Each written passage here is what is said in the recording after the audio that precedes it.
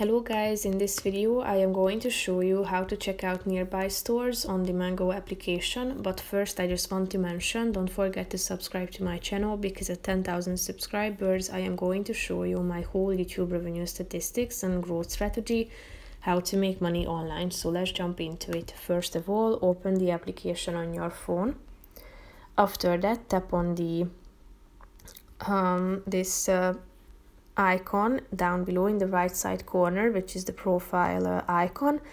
Then scroll down and click on the stores button in the middle and after that you will be able to um, check out your map by tapping on the map icon in the upper right corner of the screen. But first you need to allow the application to have access to your location so you have to go to your phone settings and uh, enable the app.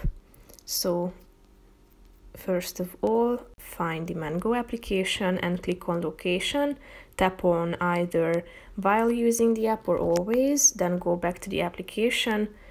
Tap on the map button. Here you can find the map available, so you can zoom in and find the nearby uh, store. Or you can also type in the name of your town that you are looking for into the uh, search bar at the top